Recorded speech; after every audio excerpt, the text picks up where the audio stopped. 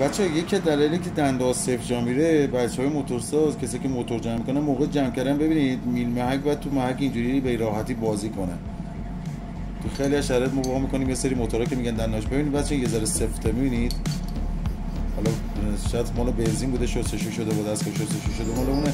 ولی یادتون نره میل محک باید توی محک این مدلی بازی کنه به همین راحتی روونی چون اگه در غیر این صورت باشه بچه دنده صفر میشه خب بچه سلام. روز خوبی داشته باشید امیدوارم اتفاق خوب واسهتون بیفته. یه دونه بنلی دیروز باز کردیم. اگه یادتون باشه بچه رادیات این سوراخ دلیل سوراخ شدن چون اون بوکس 22 بود که توی رادیات پیدا شد. دقت کنید بچه رادیاتو از کجا. من بعید می‌دونم این رادیو درست بشه. امیدوارم که درست بشه ولی قیافش می‌خوره که باید تعویض بشه به دلیل اینکه خب اوضاع زیاد تعریفی نداره. این طرفم بچه‌ها کیت کلاچش تعویض شده می‌بینید عرضم حضور شما که مرتضی دیگه چه کار داشته غیر کیت کلاچ؟ کیت لنت عقب. لنت عقبش هم تعویض شده.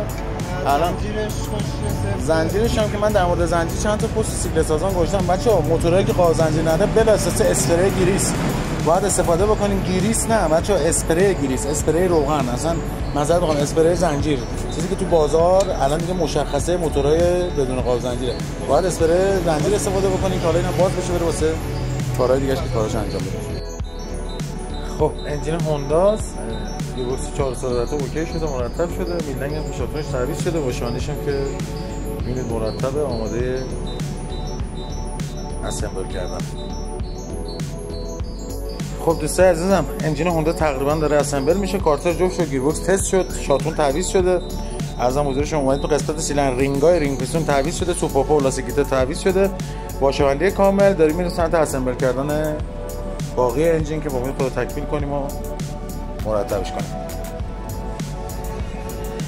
خب بچه بچه روز خوب داشته باشید engine هونداست که تو استوریا تک تک کارش واسهتون گذاشتم یه نکته در مورد پیج سیکل سازان و کلیه کارهایی که ما از 125 تا 1000 سی سی انجام میدیم.